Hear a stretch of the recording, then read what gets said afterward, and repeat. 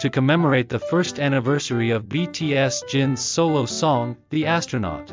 Given as a gift before his military enlistment, fans from all over the world have been making donations, adding even more meaning to the occasion. Let's dive into the details.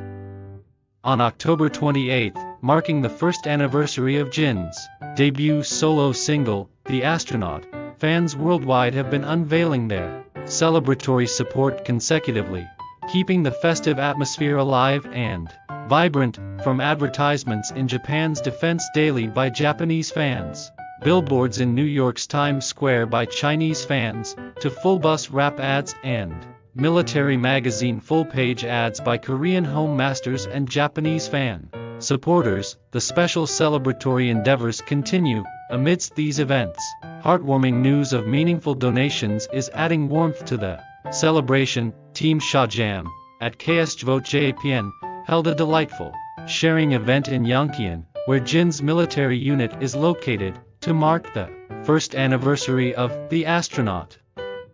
They supported Nogok Elementary School and Baikak Elementary School students, as well as kindergarten friends in Yeoncheon, with group t-shirts and hats, showcasing a lovely gesture of companionship and continuing the positive influence initiated by Jin.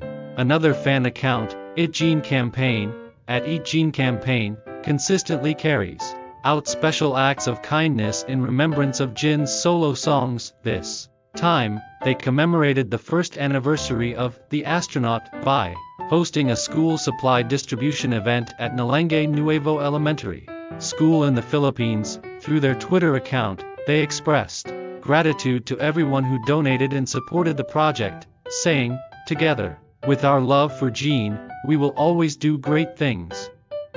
On October 28, marking the one-year anniversary of its release, Jin's The Astronaut co-written and co-composed with the global band Coldplay, has swept global charts, achieving the first ever million seller status for a solo single recognized by the Korea Music Content Association, KMCA. Jin's The Astronaut was recognized by America's top music magazine, Rolling Stone, ranking the highest among Asian solos in their top 100 songs of 2022.